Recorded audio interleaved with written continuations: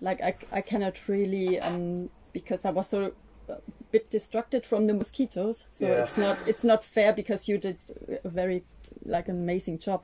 And yeah, so first when I laid down, I felt very like um, connected to the earth. So I found like making this outside is amazing. Just yeah, if there would, it wasn't your fault with the mosquitoes, but that was just um, distracting me of totally getting into it.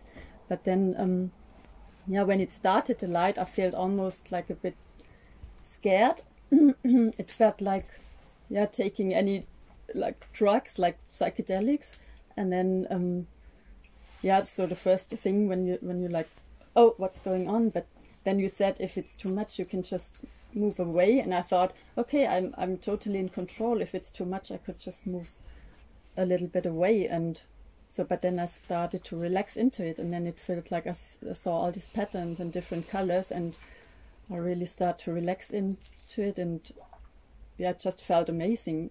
And then uh, yeah when you stopped it i don't even know for how many minutes you did it it felt like i don't know a few minutes and then i thought okay that's it. But then you said usually it goes for 45 minutes or so and i think that must be amazing to get more into it. So I'm really looking forward to to do it for longer time. And yeah and the gong was like that was my second time.